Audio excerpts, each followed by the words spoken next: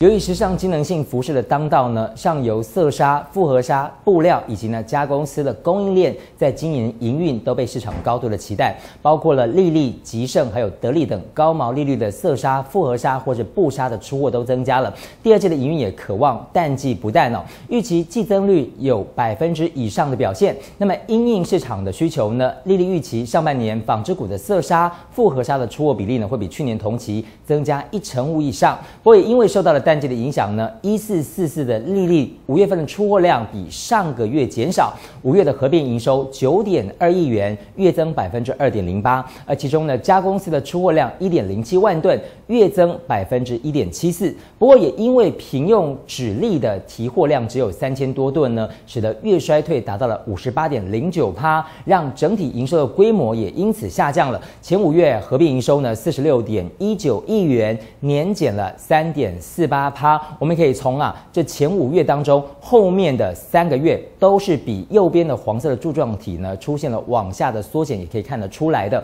那么至于之前媒体报道，丽丽家公司呢已经接单到了六月底了，丽丽则是表示需要视客户拉货进度而定哦。而观察丽丽股价呢，历经了第一季的整理之后呢，四月份在外资快速的加持这个股。股份之下呢，我们看到股价上涨了两成一，而五月、六月则是因为外资明显缩小了买超的力道呢，使得这个股价进行了回档的整理走势。而在六月九号回测到了半年线的这个整理之后呢，在六月九号回测到半年线出现了收脚呢，已经出现了日 K 的连三红了。我们看到上周五是以小涨了零点九八趴做收，盘中突破的。画面当中，您看到的绿色的这条月线呢，最后在收盘却是得负失。不过五日均线跟黄色的这条季线呢，也形成了往上的黄金交叉。这整理到底是不是已经宣告结束呢？就要看外资后续操作的方向性是不是会更加的明显了。